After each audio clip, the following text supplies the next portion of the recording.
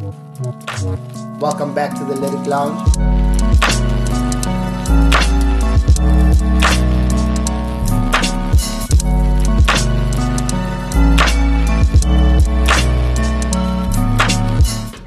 All I'm saying is the shit that we're doing.